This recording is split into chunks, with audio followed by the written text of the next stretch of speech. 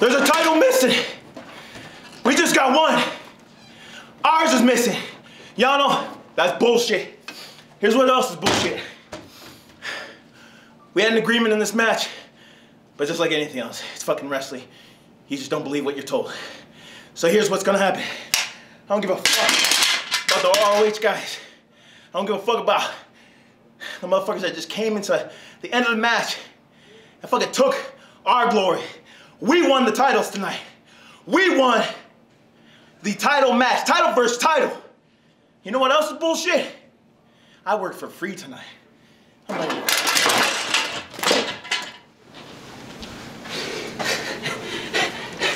Look at this garbage. Piece of shit. Nobody gives a fuck about no ROH. Huh? I, we handled y'all. Every one of y'all. That was easy. I'm surprised that some of y'all that that lost had so much energy to do another battle with somebody else. that wasn't even in our match. That came in after he just did a match before us.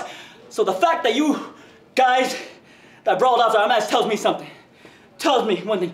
You motherfuckers ain't on New Japan level. That's a fucking promise. Huh? You fucking old ass retired dudes. Yeah. Fuck y'all. Huh? Fuck all y'all. that tells me you didn't put your fucking best at our match. You saved energy for that bullshit. Huh? After our match.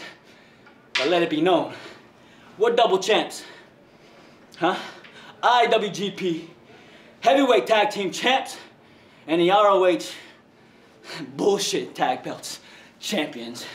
That shit was easy. Fucking crazy out of your fucking mind.